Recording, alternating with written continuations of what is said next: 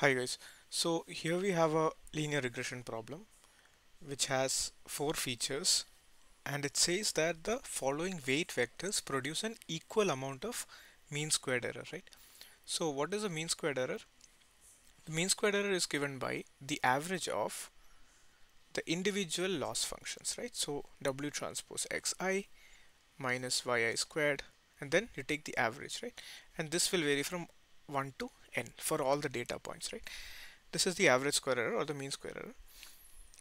And it says it produces an equal amount of this, right? So, so this will be same as 1 by n times summation i running from 1 to n w so if I call the first one w1 transpose xi the second one would be w2 transpose xi minus yi whole square and so on right so it is the same for every wi now it says which of the weight vector is likely to be chosen by ridge regression. So let's recall that in ridge regression, uh, the parameter which optimizes the ridge regression is given by the minimizer of minimizer along W, okay, or I, I think I should write argmin, right, the argument which minimizes. And what is the loss function given by? It's nothing but sum over of the individual loss functions right plus some constant say lambda times the norm of w square right? And since it is given that the mean square error is the same that means the sum of the loss function is also the same for every wi right? If that is the same for every wi then the ridge regression would select that particular W for which this term, the second term is minimum, right? So what do we have? We have that the ridge regression will prefer that Wi for which Wi norm squared, right, is minimum. Because the first part is the same for all of them, right? So, so this is the loss part, right? Loss part is the same for all wi so let's compute the norm of each uh, wi the first one it would be 4 plus 4 plus 9 which is 9 plus 1 which is 18 right? And then uh, we have 1 plus 1 plus 9 plus 1 which is 12 and then we have 9 plus 4 plus 16 plus 1 which is 30 and then 1 plus 4 plus 1 plus 1 which is 7 so what are these? These are nothing but Wi norm squared, right? And which one is the minimum? W4 has the minimum norm squared of 7, right? So which one will be chosen by ridge regression? So W hat ridge will be equal to W4, okay?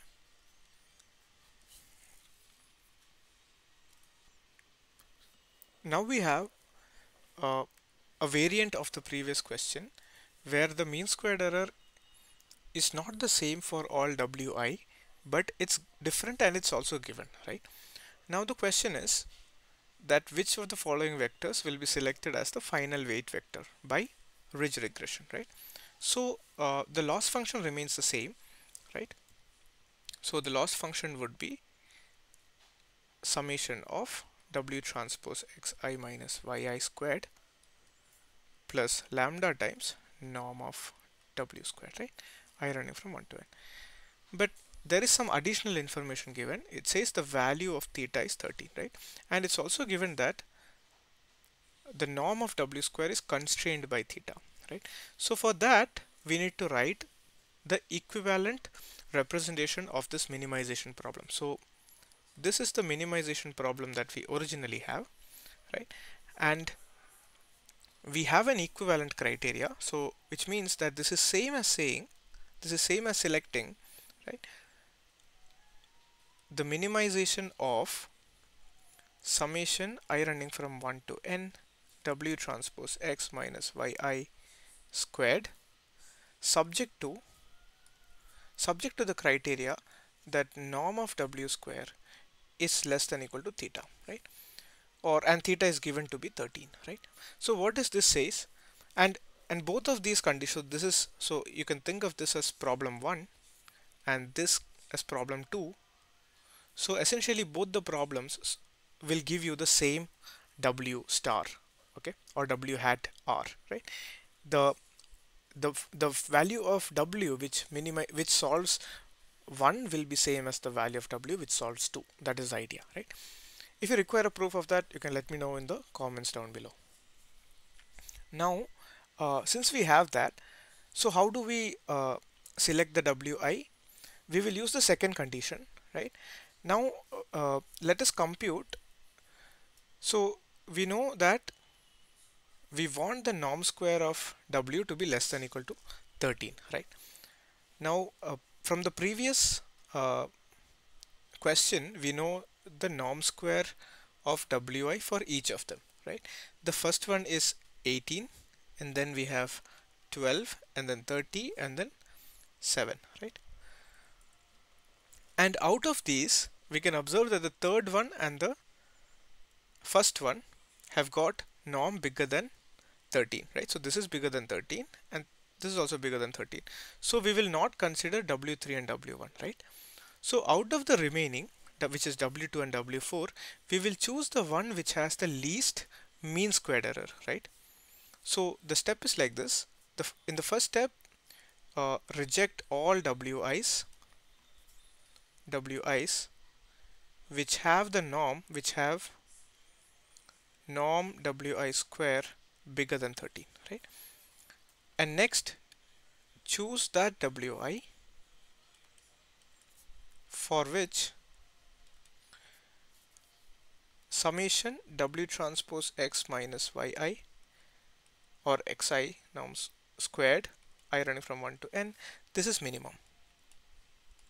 Now now we know that uh, mean square for the so this is same as saying that uh, instead of the sum of the loss function you can also take the average of the loss functions right? Because if the sum is minimum then the average will also be minimum.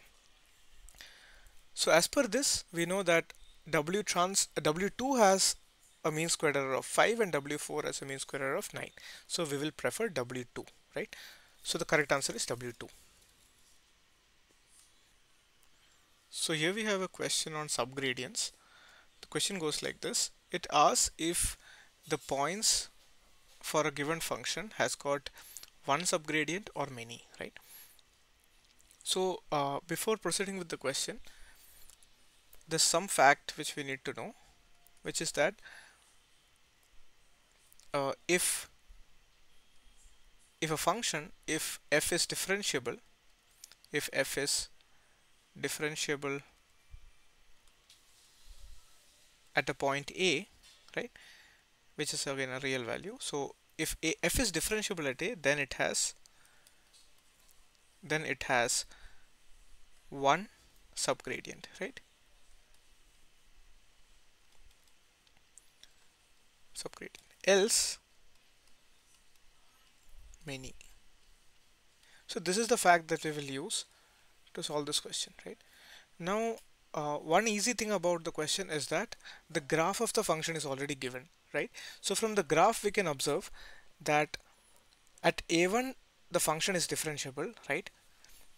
So uh, we know that this is actually a piecewise uh, continuous function. In fact a piecewise differentiable function because each of the individual functions x square 2x and 4x minus 4 all of them are differentiable individually right?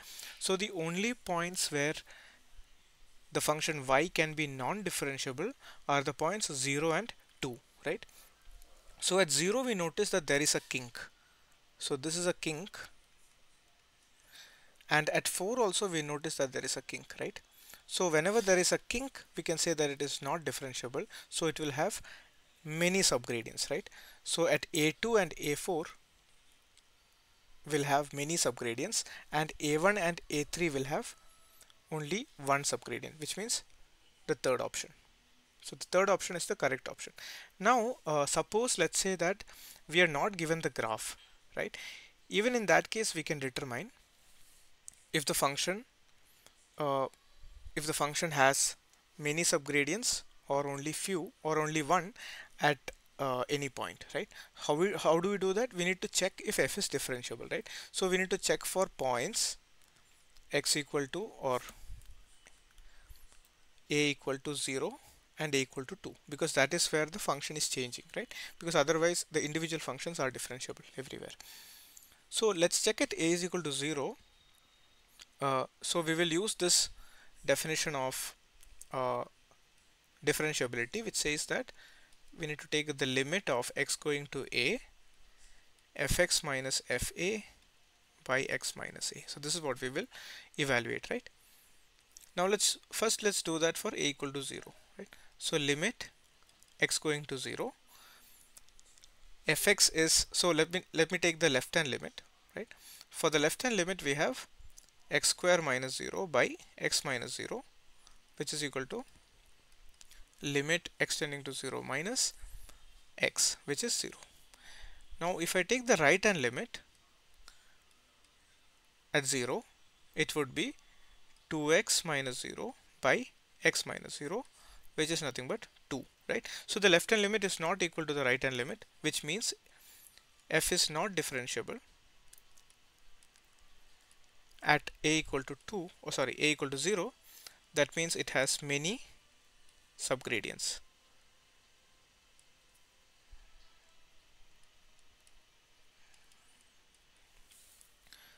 Now let us also evaluate it at a is equal to 2, right? So we are doing this assuming that the graph is not given to us, okay? Now again I'll take limit x going to 2 from the left hand side, right? In that case it would be uh, 2x minus 2 times 2 which is 4 divided by x minus 2. This will be equal to 2 times x minus 2 by x minus 2.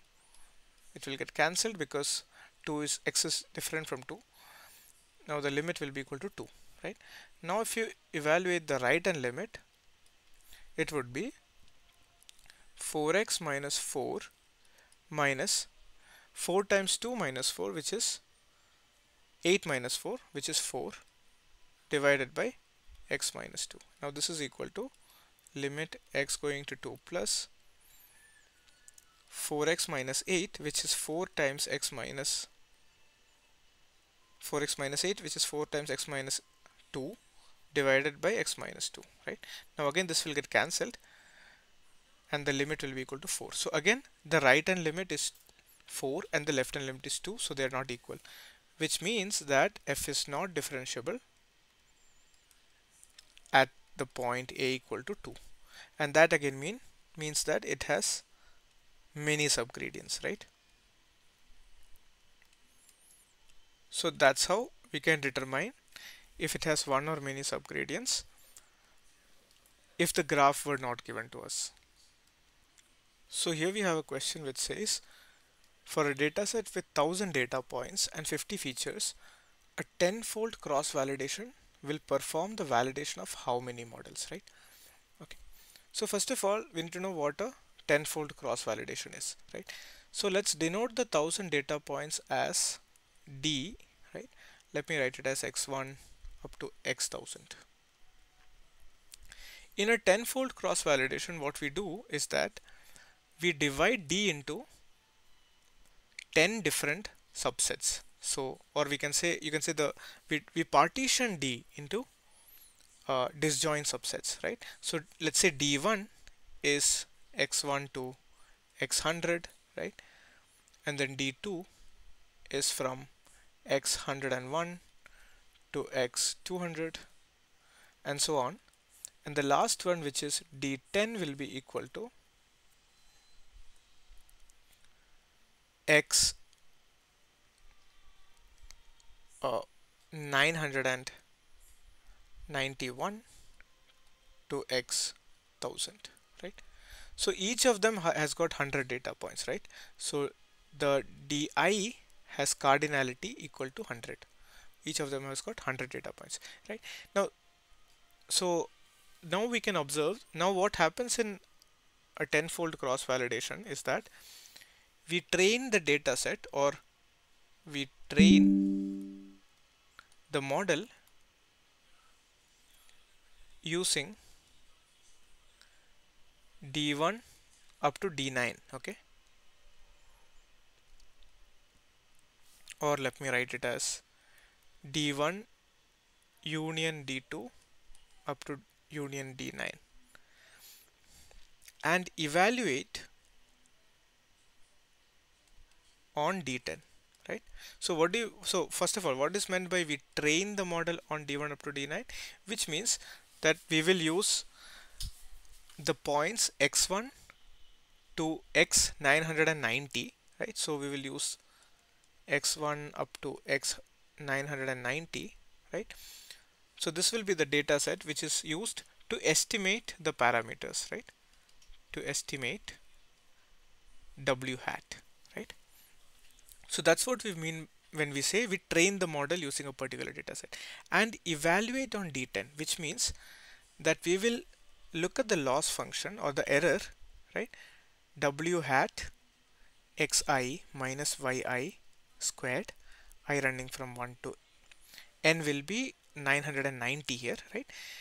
So we will get an error and this y hat is used from the data points x1 up to x90 right and this is this is okay so this uh, I'm sorry this should be instead of it should be 991 to 1000 right? Because we are evaluating it on d10 right? So this is this would be so this is one part of the tenfold cross validation. So we do the same thing so same thing will be done for will be done when what we what we, we shall do is that we take d1 d2 up to d8 and then we don't take d9 we take d10 right? And this is used to estimate the parameter w hat right? And then we evaluate or we compute the loss function on D9 right? So this thing will happen 10 times right? So this process repeats how many times? So first time we evaluate on D10 then we evaluate on D9 and so on so this whole process gets repeated 10 times right? That is why it's called a tenfold uh, cross validation right? And then for each DI right? For each DI we get an evaluated error right? So let me call that EI right? So EI is obtained when uh, the loss function is evaluated on DI right? So this is what this so you get EI and then what we do is that we take the average of them right? So 1 by n times summation of all EI so this is what we look at in order in order to uh, determine sometimes the hyperparameters or sometimes even to determine which model uh, would be a better fit if we are using multiple models right? And so so how many times did we determine w hat right? So that's the question. So it will it will perform validation of how many models which means the loss function will be evaluated on how many models how many data sets right? It will be evaluated on 10 different data sets right? D1 up to d10 and then we take the average right? So the answer will be 10 now in general you can say that so in general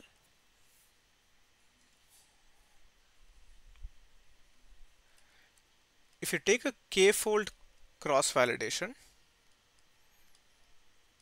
it will it will perform validation. So it will perform validation on k models right? K different models right? Because each time you're getting a w hat using some data set it will be different right? Because you're using a different set of da data points. Okay so this is the general scenario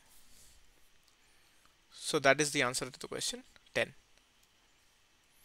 So here the question says that we have a data set with again 1000 data points and 50 features and we keep 800 of the data for training and the remaining 20% for validation. During k fold cross validation the k is not given. We have to find k. And how will we find that k? So since it is given that 20% of the data is kept for validation which means that we will be dividing so this 20% will be actually 200 data points which is 20% of 1000 right? So each DI has 200 data points. So I can say the cardinality of DI is 200 for every i right? And So uh, we can say that k will be nothing but the number of data points capital N divided by the cardinality of di, right? Which will be 1000 divided by 200, which is 5. So since k is equal to 5, the number of models which will be validated during cross validation will be equal to 5.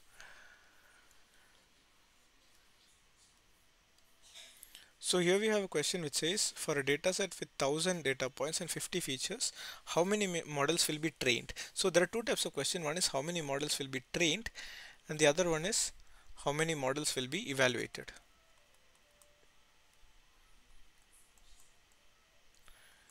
Actually, uh, both the questions are actually the same because the number of models which are trained are equal to the number of models which are evaluated, right? And this particular method of cross validation is a special case of so this is a special case of k-fold cross validation where k is nothing but n right? Which is the number of features. So k will be 1000 right so since k is 1000 the number of models which will be evaluated will be equal to 1000 so the answer is 1000 so here we have a question which asks which sort of compares what will be the mean squared error when the eigenvalues of x, x times x transpose and x times x transpose inverse uh, and it compares how it will differ as per the eigenvalues right? So let's see what so it asks the mean squared error of w hat ml so the mean squared error of w hat ml right which is nothing but w hat ml minus w norm squared right this is equal to uh, sigma square times the trace of xx transpose whole inverse right so this is transpose and this is inverse right. So if the inverse exists or else we can replace the inverse by pseudo inverse but it's not going to have much effect right it will be almost the same. So now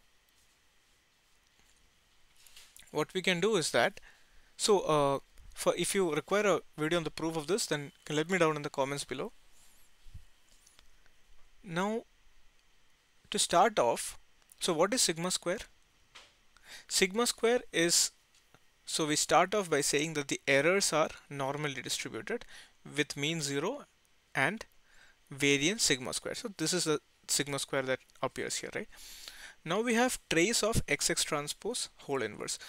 So we know that for any matrix the trace is nothing but so this is the mean squared error MSE of W hat ML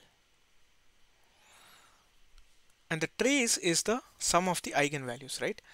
So this would be nothing but summation of lambda i right? Where what what is lambda i? Lambda i are eigenvalues of x x transpose whole inverse right? So when you increase lambda i right? So when you increase lambda i the mean squared error will also increase right? Which means that the mean square will be small if the eigenvalues of x x transpose inverse are small right? So the last option is correct now we can also say using the result so we have a result which says that if lambda is an eigenvalue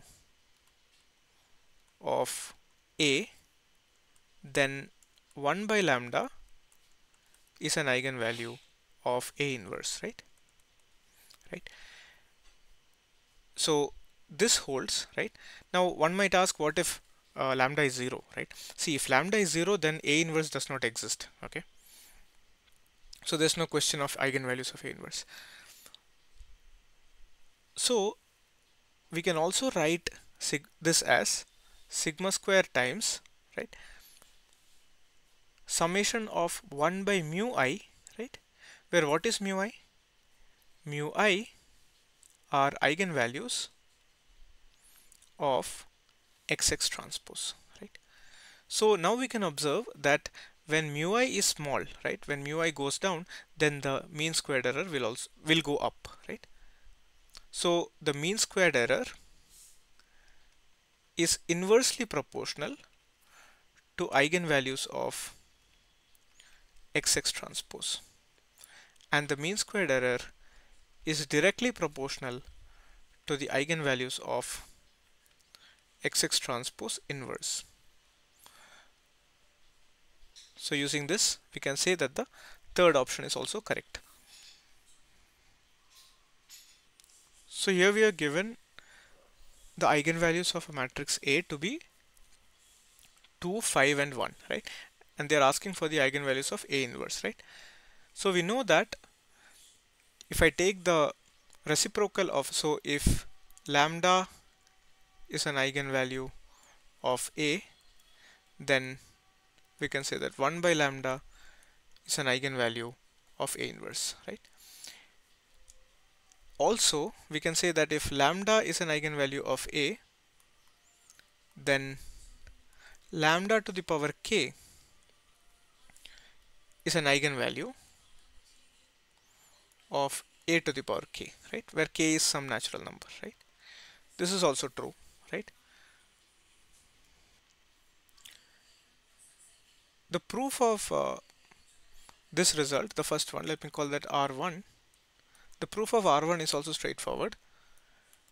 Proof of r1 so if lambda is an eigenvalue of a what does that mean? That means that a times v is equal to lambda v for some vector v right? For some vector v now uh, since a is invertible yeah we can multiply by a on both sides and we'll get a inverse av is equal to lambda times a inverse v. Again lambda is a scalar okay? Lambda is a scalar which means it's either a real number or a complex number okay? Not a vector. So we can take take it out and write lambda times av which means so a inverse a is i so we can say v is equal to lambda times av now that is same as saying 1 by lambda times v is equal to sorry this should be a inverse since we are multiplying by a inverse. So a inverse of v. Now that means that a inverse of v is equal to 1 by lambda times v right? Now this means that 1 by lambda so this implies that 1 by 1 by lambda is an eigenvalue of a inverse. Now using this result 1 we can say that the eigenvalues of a inverse are 1 by 2 1 by 5 and 1 which is 0.5 0.2 and 1